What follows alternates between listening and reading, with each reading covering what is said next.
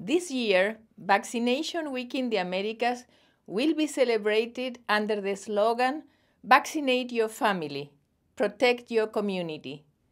From children and adolescents to adults and the elderly, vaccination is a right of the entire family and an essential tool in the prevention of many devastating diseases. For the last nine years, Vaccination Week of the Americas has become a very visible and participatory initiative to highlight the great value of vaccines to protect public health. I would like to commend our healthcare workers who strive diligently during Vaccination Week and throughout the year to find and vaccinate vulnerable populations in all corners of the Americas.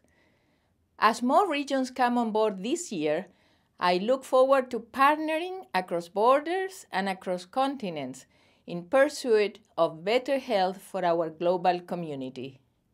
Join us to celebrate a global vaccination week. Vaccination is an act of love.